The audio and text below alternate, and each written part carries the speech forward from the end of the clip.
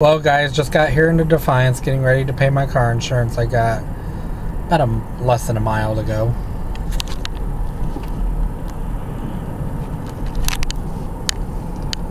But yeah, this is what Defiance looks like in, during the day. But it's not too bad. Um, yeah, not a bad day all, overall. Wasn't a bad drive. But yeah, I'm just on my way to pay my car insurance.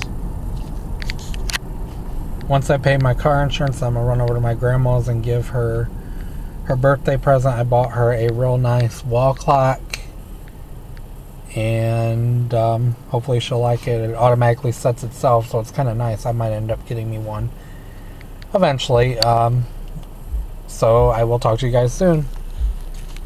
Bye.